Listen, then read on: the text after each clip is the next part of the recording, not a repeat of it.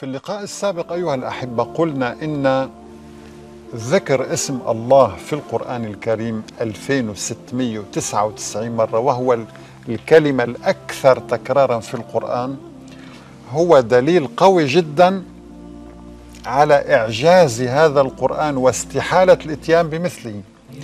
يعني لا يستطيع أحد أن يؤلف كتابا ويذكر اسمه كمؤلف للكتاب 2699 مرة. لن يجد في أي لغة من لغات العالم جملا يستطيع أن يعبر بها 2699 مرة.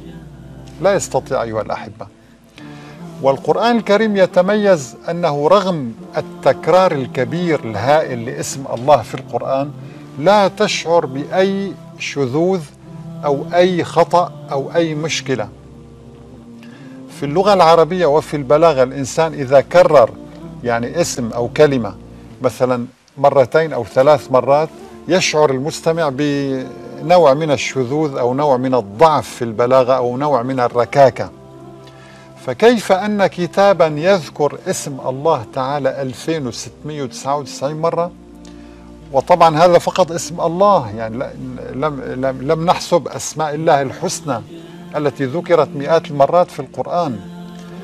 ونكررها كل يوم ولا نشعر بل نزداد حبا و و واعجابا بهذا القرآن يعني كلما قرأت القرآن تجد له حلاوة وتجد لذة جديدة تكتشفها لأول مرة.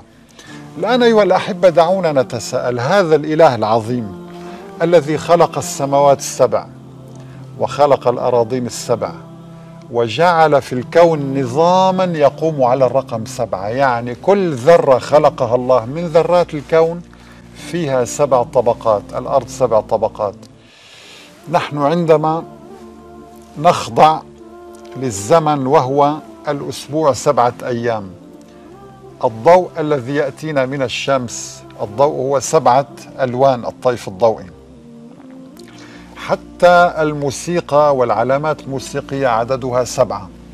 طبقات الجلد سبعة. آه الطواف سبعة. السجود على سبعة أعظم.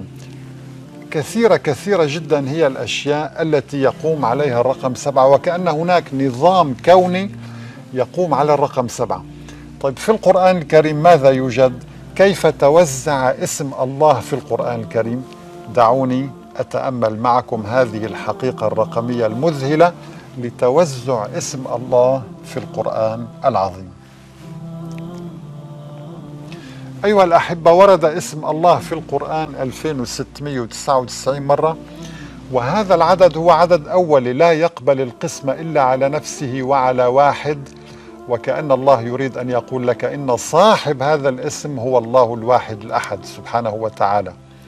ولكن الآن أيها الأحبة سوف نرى أن هذا الاسم يتوزع بنظام يقوم على الرقم سبعة. فلو بحثنا عن اسم الله في القرآن نجد أنه ذكر على سبعة أشكال. الله لله بالله فالله فلله أبي الله تالله.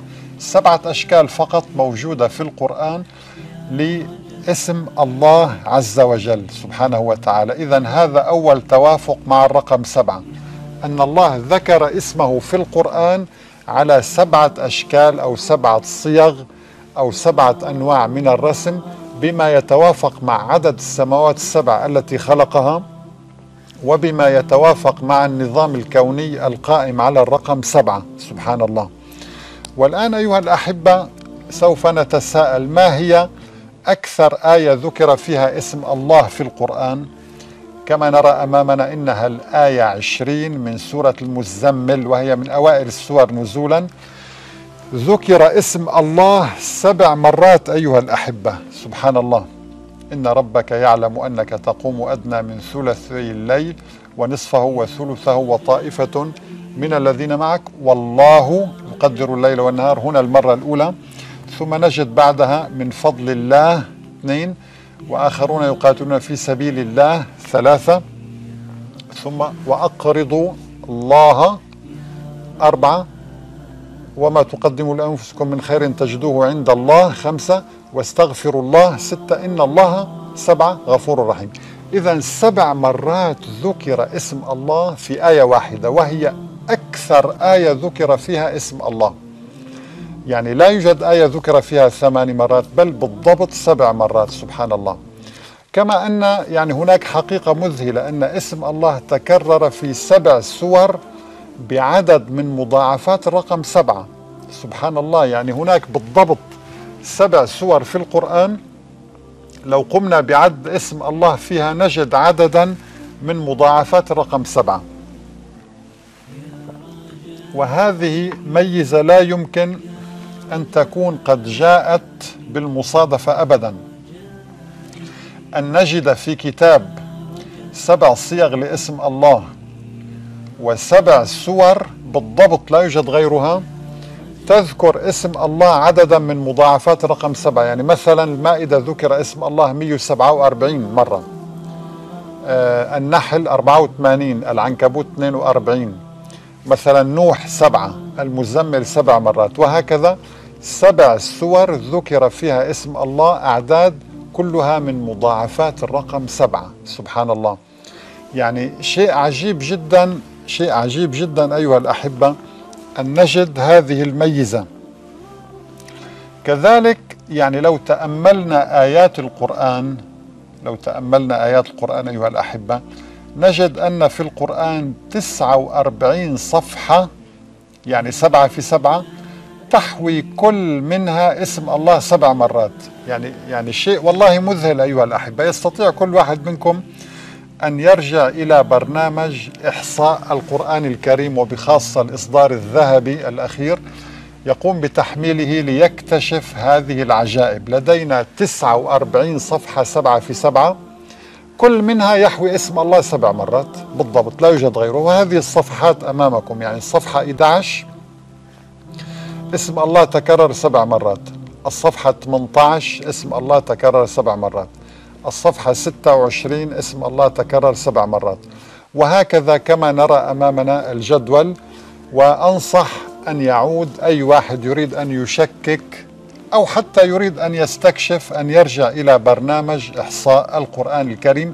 الإصدار الذهبي المصحح لأن النسخ السابقة كانت تحوي بعض الأخطاء والهفوات.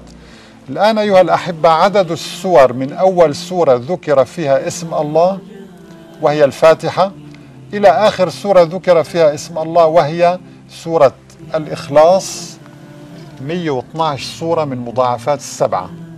وكلمة الفاتحة سبعة أحرف وكلمة الإخلاص أيضا سبعة أحرف. سبحان الله يعني شيء عجيب.